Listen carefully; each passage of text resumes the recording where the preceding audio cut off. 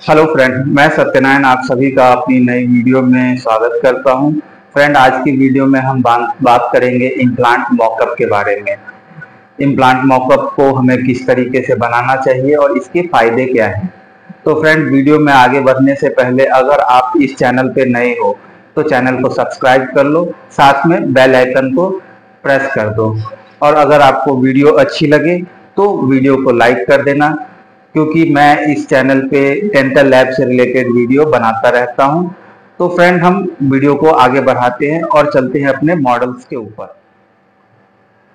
Friend ये हमारा implant का मॉडल है, जिसमें छह इम्प्लांट डले हुए हैं और ये मल्टी यूनिट का केस है, जिसपे कि मैंने 14 यूनिट का मौका बनाया है थ्री प्रिंटर के सहारे। इसको मैंने थ्री प्रिंटर से प्रिंट किया है और जो मैंने डिज़ाइन किया है, वो एक्सो कैट के ऊपर डिज़ाइन किया हुआ है। तो फ्रेंड मॉकअप बनाने से जो हमारा सबसे बड़ा फ़ायदा है कि इतना बड़ा ब्रिज आप देख सकते हैं कि इसकी फिटिंग से लेके सारी चीज़ें हमें पता चल रही हैं। इतना बड़ा ब्रिज अगर हम डायरेक्ट बनाते हैं या फिर वो डीएमएलएस बनाए या कास्टिंग करके बनाए, जैसे भी बनाए, हमारा काफ़ी सारा खर्चा होता है। और अगर किसी कारण से बाइट चेंज हो गया या फिर फिटिंग का कोई इशू आया या फिर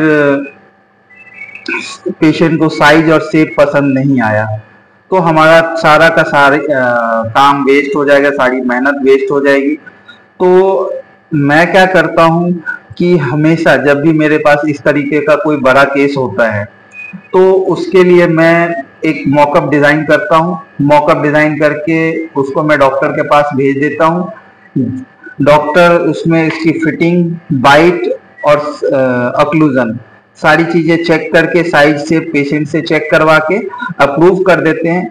फिर इसी सेम फ़ाइल को मैं श्रिंक करके एक्सोकैट के अंदर ये ऑप्शन होता है श्रिंक करके सेम फ़ाइल को मैं पुपिन में कन्वर्ट कर लेता हूँ और फिर आगे का काम प्रोसीड कर लेता हूँ। तो इसके लिए मैंने क्या किया है, सबसे पहले डॉक्टर ने मुझे इसका इंप्रेशन दिया था, इसका जिग वेरीफाई कर लिया। जिग वेरीफाई करने के बाद जेआर हुआ। जेआर को मैंने आर्टिकुलेट कर लिया और आर्टिकुलेट करने के बाद फिर इसको मैंने एक्सोकैट पे डिज़ाइन किया है। आप देख सकते हो, आप एक चीज़ कह सकते हो कि ये छोटे आर्टिकुलेटर पे क्यों है? तो फ्रेंड एक्सोकैट में थ्री पिन आर्टिकुलेटर के साथ स्कैन करना बड़ा मुश्किल हो जाता है। तो मैं सिर्फ़ अक्लूजन पर्पस के लिए स्कैन के लिए छोटे आर्टिकुलेटर का यूज़ करता हूँ। और उसके बाद जब मेरा काम कंप्लीट हो जाता है स्कैन डिज़ाइन का और ट्रायल होके आ जाएगा नई बाइट के साथ तो फिर हम इसको थ्री पॉइंट आर्टिकुलेटर पे शिफ्ट करके बाकी का जो काम है, वो करेंगे। तो इसका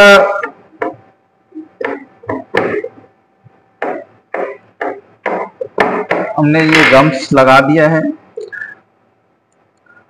इसका जो सबसे बड़ा फ़ायदा है कि हमारा जो वेस्टेज है, जो रिपीटेशन के चांसेस हैं, अगर हमसे कोई गलती हुई है, चाहे वो डिज़ाइन करने में या फिर बाइट के टाइम में आर्टिकुलेट के टाइम में गलतियाँ कहीं भी हो सकती है। तो हम रिपीटेशन से बच जाते हैं। हमारा जो खर्चा है, वो कम होता है, हमारा नुकसान कम होता है। तो आप इसका देख सकते हो कि इसकी जो फिटिंग है, कितनी अच्छी फिटिंग आई है। ये गम्स मैंने इसका लगा दिया। आप देख सकते हो कितने अच्छे तरीके से ये प्रॉपर अडेप्ट है। तो इससे हमारे सारी चीज़ों का पता चल जाएगा ओवरऑल ऑक्लूजन गम्स का गैप पॉन्टिक सेप सारी चीज़ों का हमें पता चल जाएगा। इसके मैं इसका सबसे पहले आपको स्क्रू भी लगा के दिखाता हूँ। स्क्रू कितने बिल्कुल पैसिव तरीके से फिट होता है। तो फ्रेंड अगर आप इसका डिज़ाइनिंग का वीडियो देखना चाहते हो तो आप कमेंट में कमेंट कमेंट बॉक्स में कमेंट करो। तो मैं इसके डिज़ाइनिंग का भी वीडियो बना के डाल दूँगा यूट्यूब के ऊपर।